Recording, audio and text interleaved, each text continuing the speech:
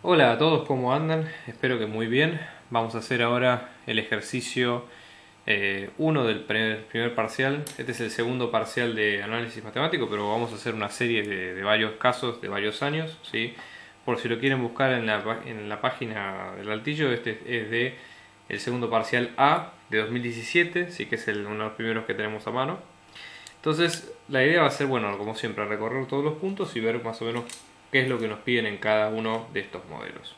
En el primer ejercicio nos piden sea f una función continua que satisface esta ecuación que nosotros tenemos acá. f en x es igual a 12, 2 sobre x más la integral, si no se ve acá, de 1 sobre, desde 1 hasta x al cuadrado de f en función de t. ¿sí? Entonces la idea con esto es calcular el polinomio de Taylor de orden 2 centrado en x0, en x0 igual a 1, ¿sí? De esa función que nosotros tenemos ahí. Entonces, ¿qué es lo primero que nosotros tenemos que hacer acá? Tenemos que tratar de encontrar cuál es la fórmula de ese polinomio que queremos buscar. Fíjense, el polinomio es el polinomio de Taylor de orden 2 en x0 igual a 1. Si voy a dividir acá la hoja en 2 para tener más claridad. Entonces vamos a tener, por la nomenclatura, polinomio. De Taylor de grado 2, esto es como yo lo escribo personalmente, si ya les digo, no, es una forma para tratar de hacerlo más práctico el, problema. ¿sí? De x centrado en x0 igual a 1 de la función f, ¿sí? por las dudas. Entonces, es de orden 2, entonces vamos a tener tres términos. ¿sí? El primero que va a ser la imagen, va a estar centrado en 1, o sea va a ser la imagen en 1 sobre 0 factorial más la primera derivada en 1 sobre 1 factorial por x menos 1 a la 1 más la segunda derivada en 1 sobre 2 factorial por x menos 1 al cuadrado. O sea que esta es la estructura a la cual tenemos que llegar con las cuentas que vamos a hacer ahora mismo. Entonces, fíjense qué elementos necesitamos en este polinomio, cuáles son los elementos clave. Bueno, primero tenemos la imagen en 1, es uno de los elementos, la derivada en 1 y luego tenemos la segunda derivada en 1. Esto es porque el resto de la, estructura de la cuenta ya la tenemos armada, así que no hay problema en este sentido. ¿sí? Bien, entonces vamos a procedamos a encontrar cada uno de los casos que tenemos en este, en este sentido. ¿sí? Bien, primero intentemos de conseguir cuánto nos va a dar la imagen en 1 Entonces vamos a ahora evaluar. Tenemos, primera cuestión, y la imagen evaluada en 1. ¿Cuánto nos va a dar esto? Fíjense que por la estructura de la cuenta, la idea acá es reemplazar justamente la expresión de esta integral donde aparece x por el 1 que vamos a evaluar. Entonces esto va a ser 2 sobre 1, ¿sí? que es 2x, más la integral entre 1 y 1 al cuadrado de f en t diferencial t. O sea que esta cuenta va a quedar de la siguiente manera, como 2 más la integral de 1 desde 1 hasta 1 de f en t diferencial t. ¿Qué tenemos que prestar atención acá? Aparece algo muy interesante que es que hacemos una integral desde 1 hasta 1 ¿sí? de una función. Siempre que hacemos una integral donde el extremo superior y el, interior, y el inferior coinciden, básicamente en la sumatoria de lo que representa la integral, esto va, a tener un área cero. ¿sí? Para que recuerden ustedes este concepto de la práctica, si por favor tenganlo presente. Fíjense que acá no estamos evaluando la integral, pero por las propiedades que presenta, esto sabemos que vale cero. Por lo tanto, lo que concluimos es que la imagen en 1 va a ser 2. ¿sí? Y ya tenemos el primer elemento de nuestro polinomio de Taylor para trabajar. Vamos ahora a calcular los que nos faltan. ¿sí? Fíjense que acá nos piden la primera derivada en 1. ¿Cómo hacemos para calcular esto? Bueno, en este caso lo que deberíamos hacer es primero encontrar la derivada de esta función. Entonces, fíjense que el enunciado nos dice, tenemos f en x, esto sería 2 sobre x, vuelvo a copiar, ¿no? x al cuadrado f en t diferencial t. Entonces, para encontrar la función derivada lo que hago justamente es derivar ambos lados por x. Derivo ambos lados por, por x. Entonces esto lo que nos va a quedar es la derivada, la función derivada que nos va a quedar. Derivada de 2 sobre x, o sea acá tenemos que usar las reglas, ¿sí? Regla de la sumatoria, derivada de este término más la derivada de este otro término. Entonces esto va a quedar 2.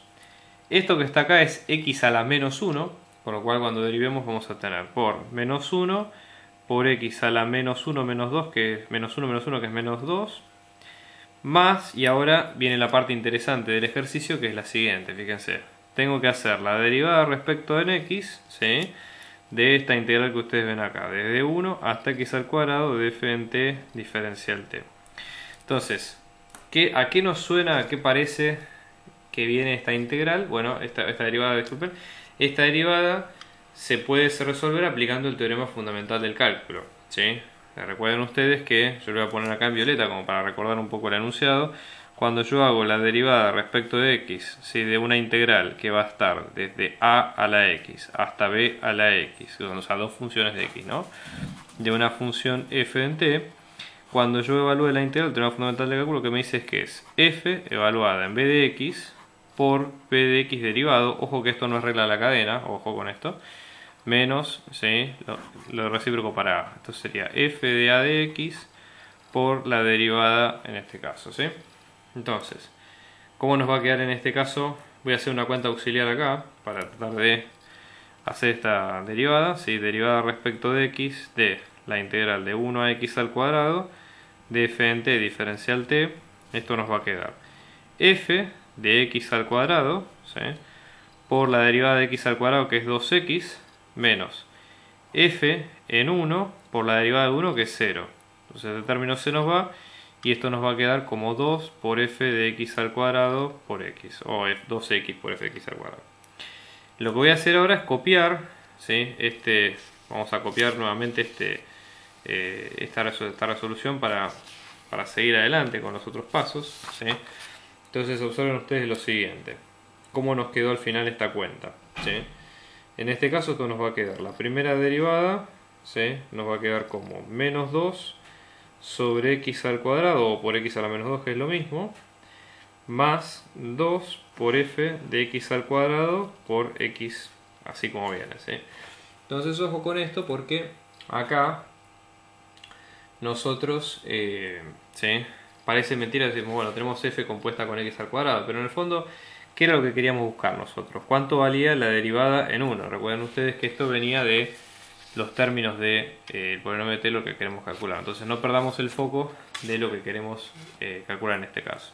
Entonces lo que voy a hacer es reemplazar por 1 donde aparezca la x. Esto nos va a quedar como menos 2 por 1 sobre, x eh, sobre 1 al cuadrado más 2 por la imagen de 1 al cuadrado por 1. Y esto nos va a quedar menos 2, en este caso, más 2 por la imagen de 1 por 1. Entonces, en este caso, ¿sí?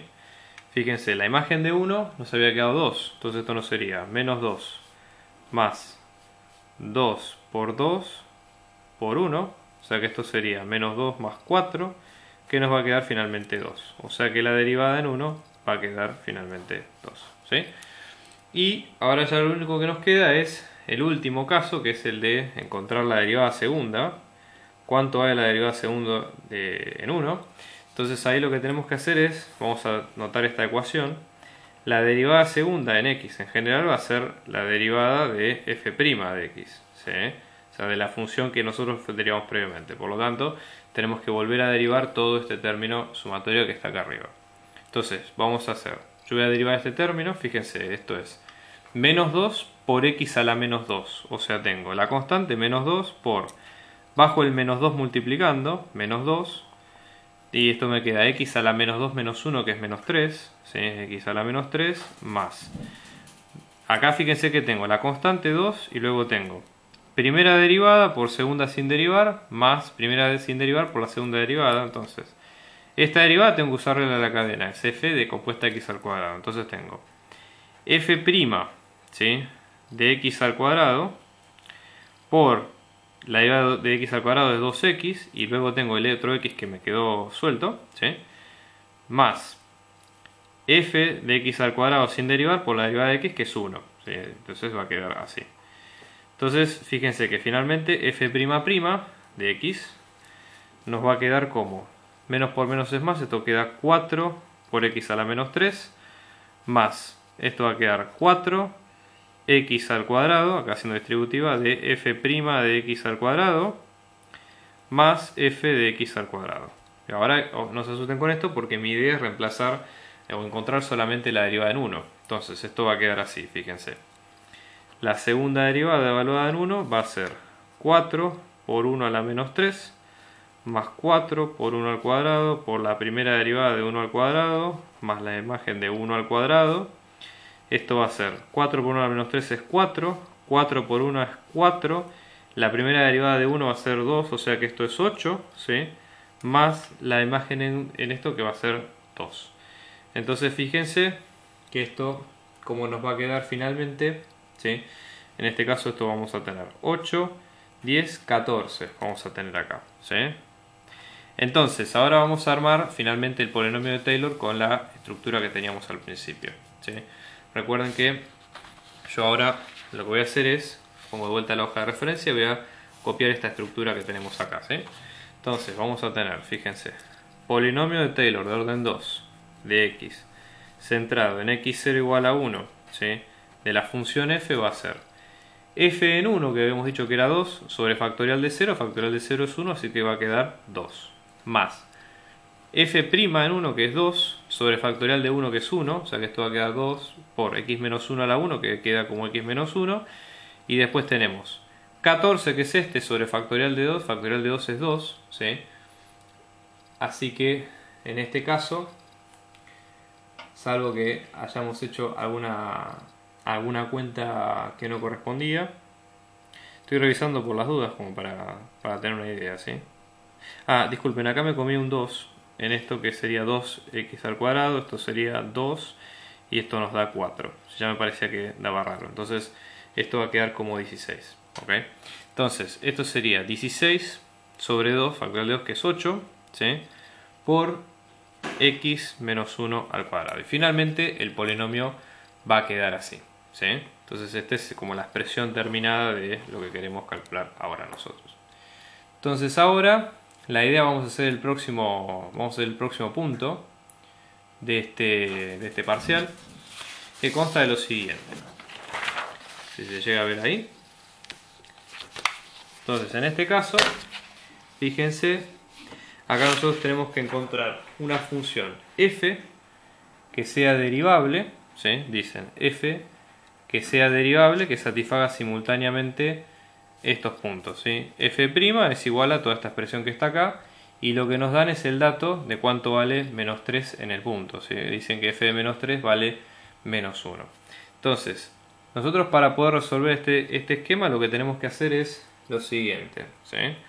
Acá esto se trata de un problema de ecuaciones, entre comillas, ecuaciones diferenciales, porque hay que tratar de sacarlo, digamos, con... Eh, o sea, tratar, de resolverlo, digamos, con integración y demás, y bueno, ver qué es lo que pasa. Entonces, primero lo que vamos a hacer es copiar, ¿sí? Cómo va quedando la ecuación. Fíjense, f', ¿sí? Esto es igual a x por x más 4 a la cuarta por f, f de x a la 4 quintos. Entonces, antes de meternos con el tema este de la cuánto vale la imagen en este punto, esto es un dato que lo vamos a usar al final, tendríamos que ver cómo hacemos para resolver esta ecuación diferencial. Recuerden ustedes que f' ¿sí?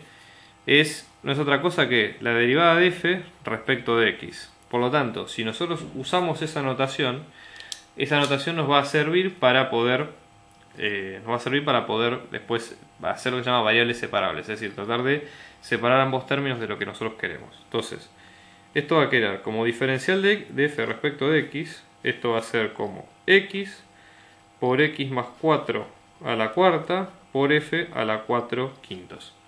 Yo lo que voy a hacer ahora es poner las f por un lado, las x por el otro y luego integrar la función. Entonces, una forma de hacer esto, por ejemplo, es multiplicar ambos lados por diferencial de x, de tal manera de sacarlo de este lado, o que se nos vaya, y luego este f que está multiplicando acá, multiplicarlo por, multiplicar ambos lados por f a la menos 4 quintos, o dividir si quieren por f a la 4 quintos, que es equivalente, y esto lo que va a hacer es que se nos vaya de este lado. Entonces vamos a tener, fíjense, f a la menos 4 quintos de diferencial de f, esto es igual a x por x más 4 a la cuarta por diferencial de x. Y luego acá la idea es para encontrar esa función tenemos que integrar. Entonces acá integramos respecto de f y luego acá integramos respecto de x. ¿sí? Entonces, vamos a hacer las dos integrales por separado en, este, en este caso. Este en este caso es un caso sencillo, pero para, para tenerlo en cuenta. ¿sí? En este caso la integral de f va a ser 1 sobre 1 más menos 4 quintos, que es lo que es el exponente, por f a la menos 4 quintos más 1. Y esto es igual a, tenemos que hacer la integral en este caso, de x por eh, x más 4 a la cuarta. Entonces, en este sentido, hay varias técnicas que nosotros podemos utilizar como para tener, eh, para tener una idea de qué es lo que se puede, de qué es lo que se puede lograr. Eh, vamos a tratar de hacerlo por partes, como para tener una, como para tener una idea. Entonces, por ejemplo, voy a hacer las, las partes de separación acá en este lado de la ecuación. Fíjense. Esta integral la podemos pensar como esto nos va a quedar x más 4 a la cuarta por x diferencial de x. ¿sí? Vamos a tratar de hacerla por sustitución. Va a quedar u es igual a x más 4. ¿sí? Entonces en este caso vamos a tener u menos 4 es igual a x y diferencial de u nos va a quedar como diferencial de x. ¿sí? Entonces fíjense que esto nos va a quedar la integral de u a la cuarta por u menos 4, que es esta x que está acá, ¿sí? u a la cuarta que es todo esto, por u menos 4 que es todo esto, por diferencial de u. Si hacemos distributiva esto nos va a quedar como la integral de u a la cuarta por u es u a la quinta, menos 4 u a la cuarta, diferencial de u. Entonces acá con sustitución simple por suerte salió, podríamos hacer por otro método, pero bueno, funcionó así que buenísimo. Entonces tenemos la integral de u a la 5 menos 4 por la integral de u a la cuarta, todo esto diferencial de u, ¿no?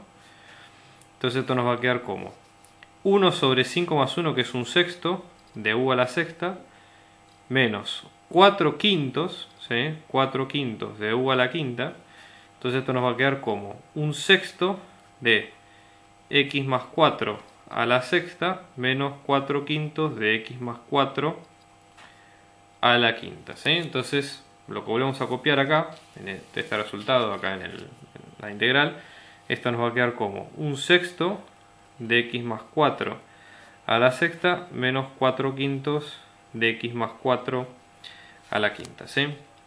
Y después la constante, ¿no? Bien. La constante le voy a sumar al final, más que nada por un tema práctico para que no nos moleste con otras cosas.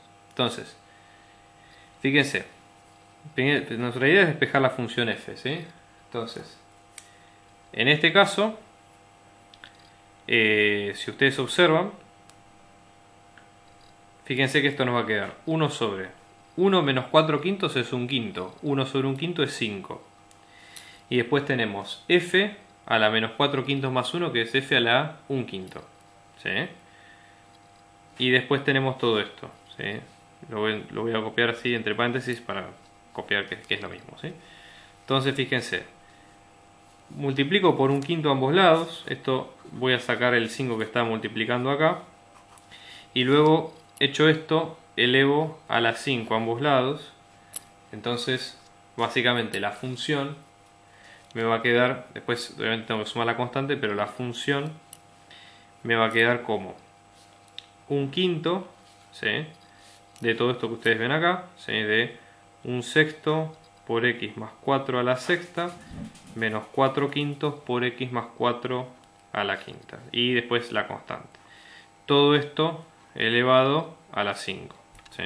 Que es una función digamos compleja, pero para que tratar de ir este, manejándola digamos de a poco, no es nada que no se pueda resolver.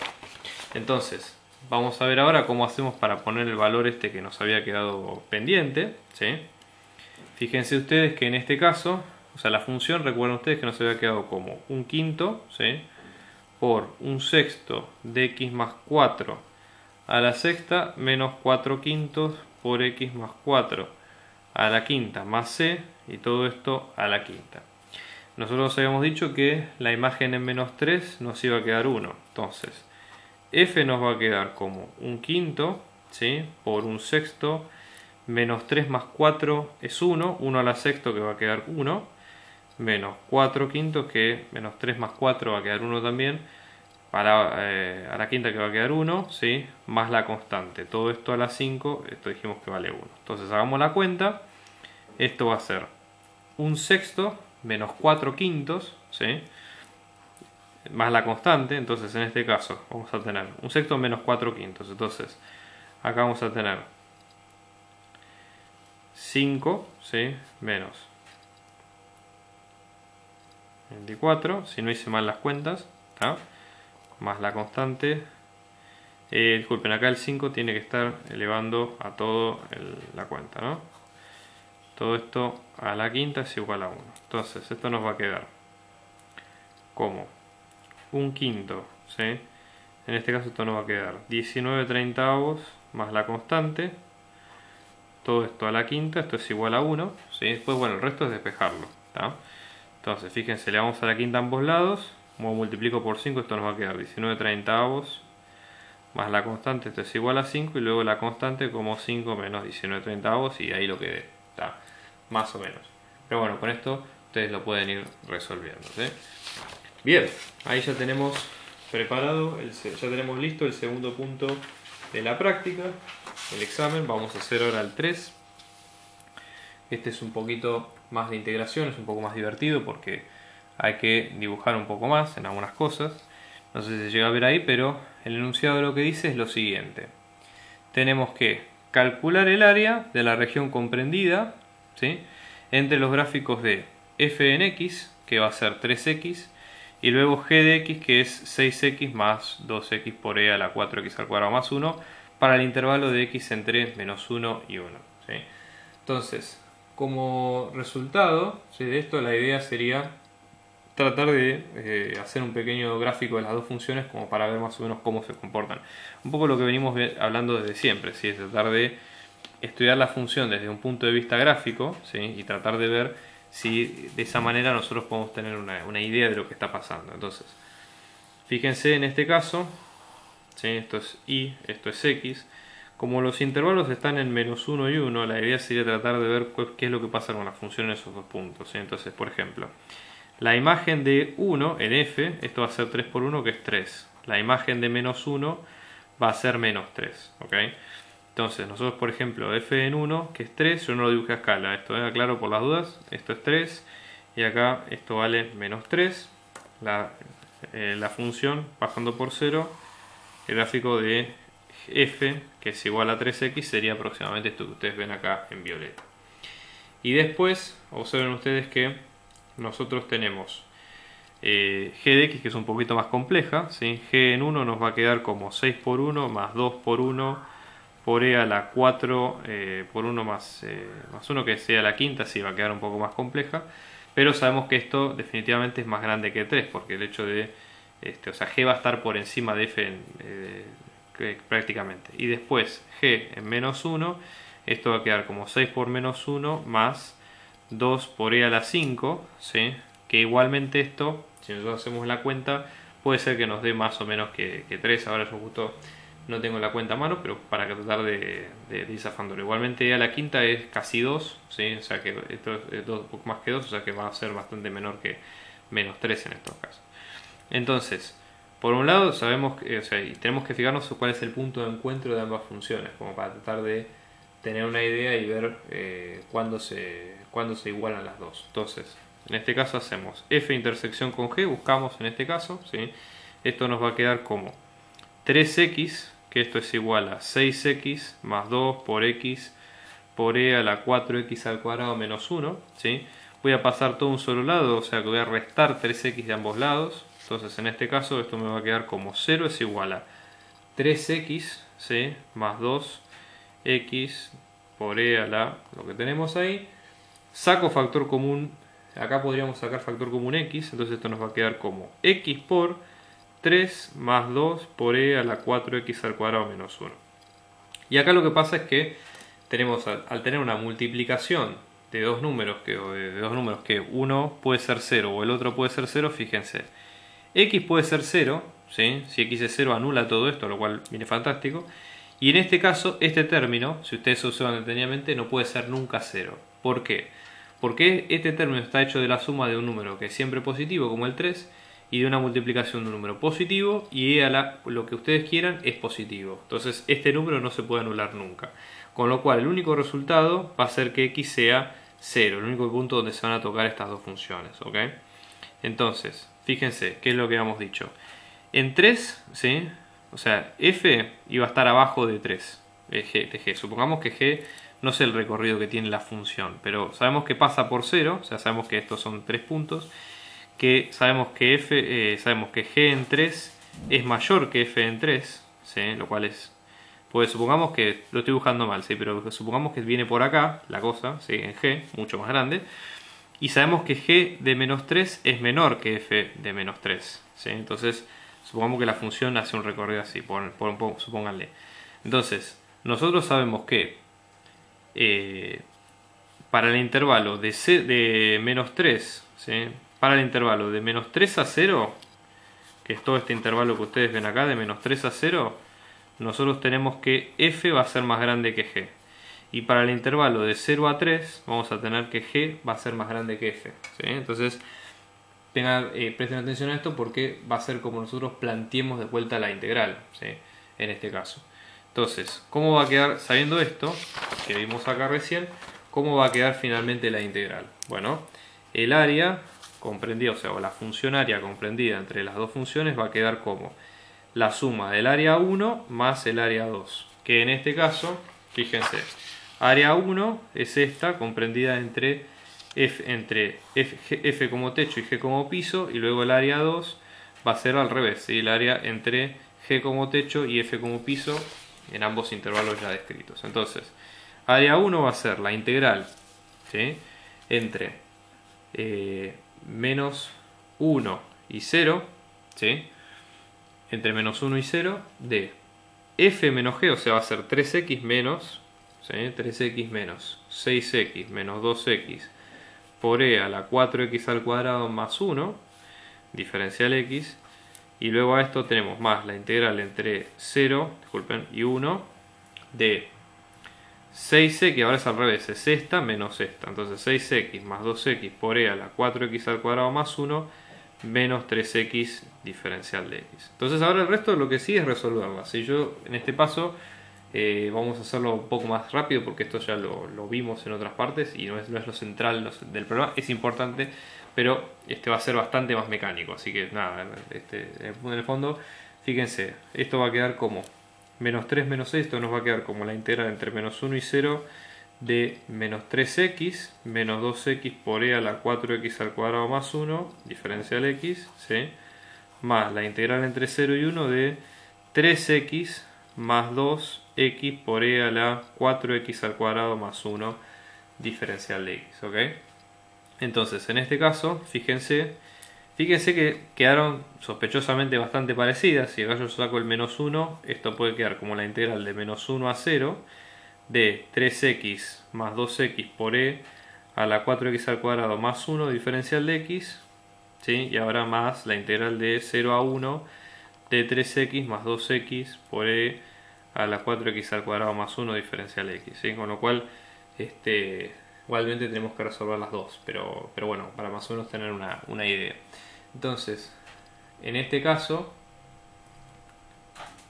fíjense, vamos a hacer la primera área, ¿sí? o sea, la primera que es esta, área 1, y luego vamos a tener el área 2 acá. ¿ok? Entonces, área 1, en este caso nos va a quedar como, haciendo la primitiva, ¿sí? esto va a quedar como menos 3 por x al cuadrado sobre 2, evaluado entre 0 y menos 1, ¿sí? más 2 por la integral entre x por e a la 4x al cuadrado más 1, diferencial de x entre menos 1 y 0.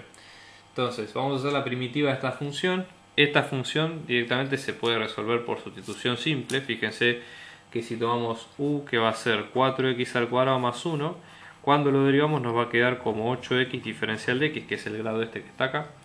Entonces, vamos a hacer, yo voy a hacer la integral acá en, violeta por separado, nos va a quedar que la integral, la primitiva indefinida de por 4, eh, x por e a la 4x al cuadrado más 1, diferencial x, esto nos va a quedar como la integral de e a la u, ¿sí? y en este caso este x va a quedar como un octavo de diferencial de u, o sea que va a quedar como un octavo de la integral de e a la u diferencial de u, que sigue quedando la misma, la misma integral de e a la u, o sea, un octavo de e, ahora sí evaluado entre eh, de, de x al cuadrado más 1. Entonces, en este caso, esta integral, ¿sí? sigo acá, ¿eh? sigo menos 3 medios por x al cuadrado evaluado entre 0 y menos 1, más 2 por 1 octavo, que va a ser un cuarto, ¿sí? de e a la 4x al cuadrado más 1, evaluado entre 0 y menos 1. Cuando ustedes hacen la, la evaluación de esto, ¿sí? el área, lo que les va a quedar, va a ser lo siguiente. Va a ser, eh, va a ser 3 medios, ¿sí? ahí no se llega a ver, 3 medios menos e sobre 4 más e a la quinta sobre 4. Esto es el área 1. ¿sí? Vamos a hacer ahora el área 2. El área 2 es más o menos parecida. Yo voy a, eh, voy a, ya que hicimos la integral, voy a obviarme el paso de resolver esta integral, pues ya la resolvimos. Y les voy a contar un poco cómo va quedando en este caso.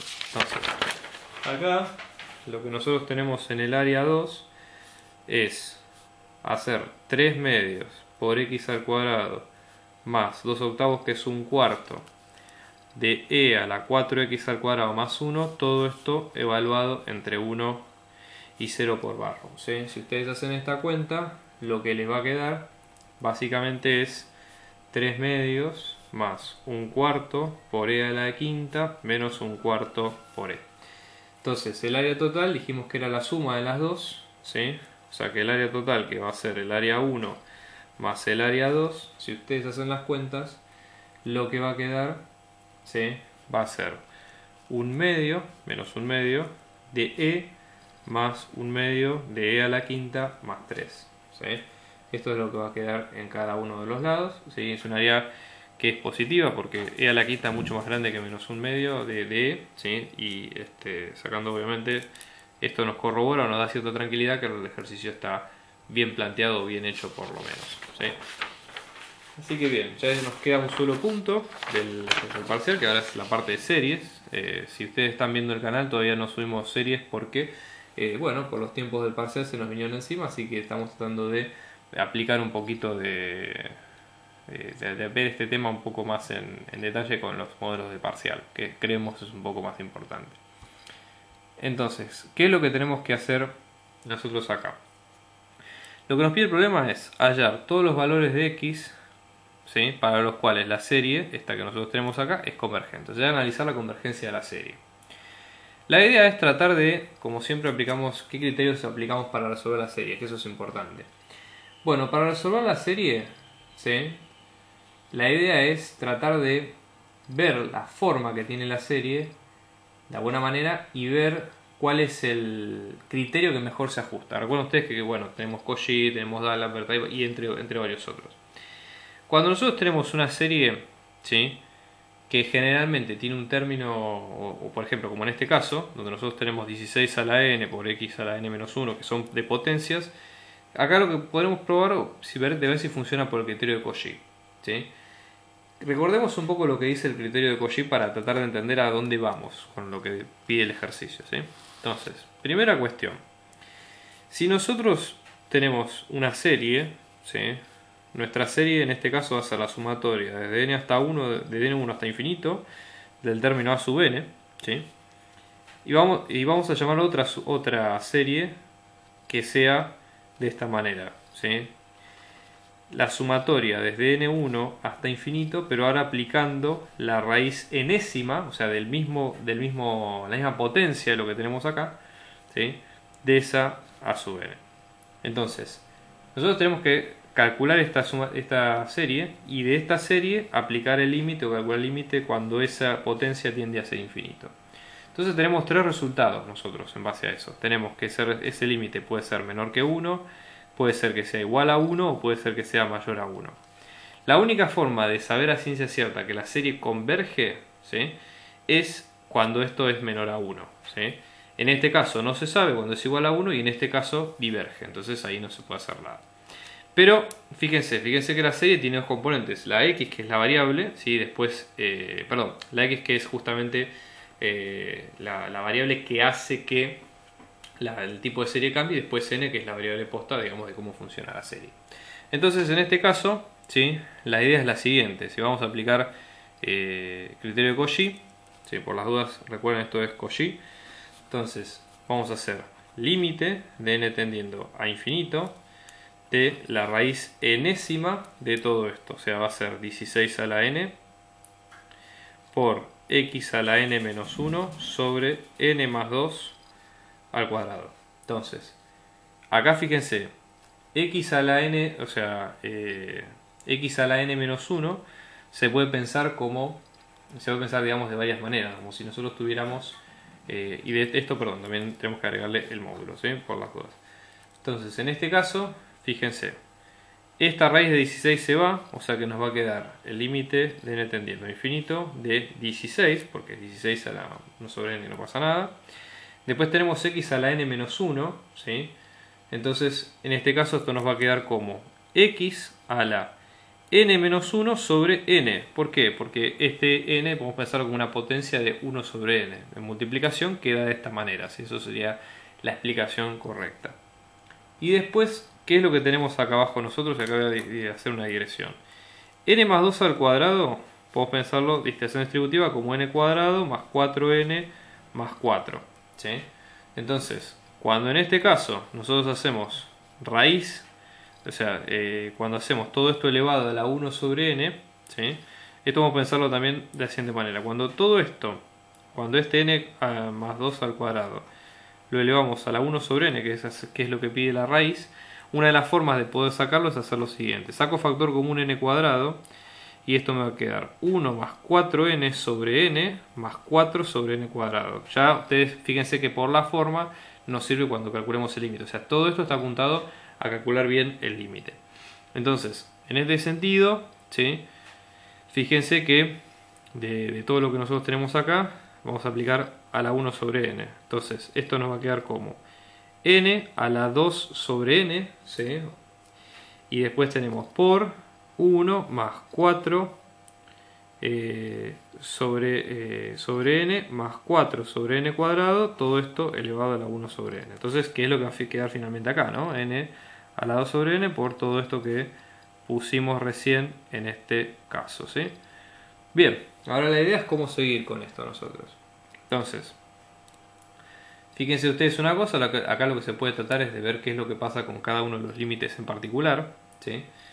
Fíjense qué pasa, por ejemplo, voy a hacer las cuentas auxiliares acá para que se entienda a qué tiende cada límite.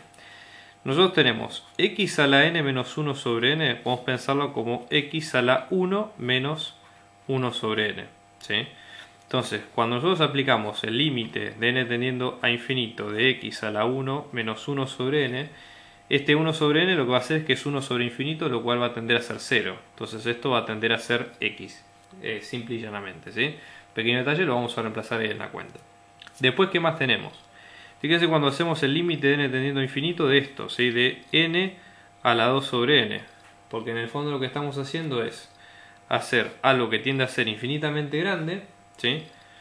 por algo que tiende a ser 2 sobre infinito que tiende a ser 0.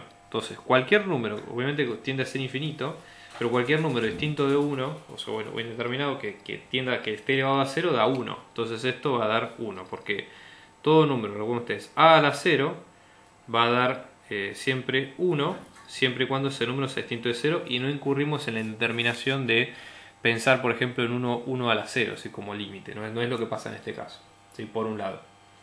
¿Qué otra cosa más pasa en este límite? ¿sí? Fíjense lo que pasa acá. Vamos a tener límite de n tendiendo infinito de 1 más 4 sobre n más 4 sobre n cuadrado a la 1 sobre n. Bueno, desde ya que estos 4 sobre algo que tiene infinito son, tienden a ser 0, estos tienden a hacerse 0, este tiende a hacerse 0 y esto tiende a ser 1 sobre algo a la 0 que también se, se, hace o se puede o se puede pensar como que es indeterminado, ¿sí? porque es 1 elevado a la 0, lo cual también nos dice, bueno, ¿qué, qué es lo que pasa o qué es lo que pasa en este caso, ¿sí?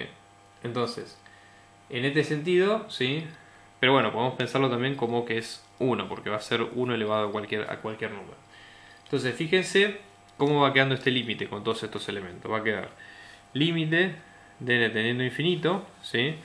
de 16 por x, ¿sí? todo esto sobre, eh, o módulo de x, ¿sí? porque en realidad siempre el módulo es lo que, lo que tenemos que poner, en este caso sobre eh, esta raíz que nos había quedado, esta raíz que estaba acá que nos había quedado 1, ¿sí? por 1, lo cual nos va a quedar como 16 por módulo de x. ¿sí? Entonces, para que converja tiene que ser menor a 1. Entonces ponemos 16 por módulo de x, nos va a quedar menor a 1.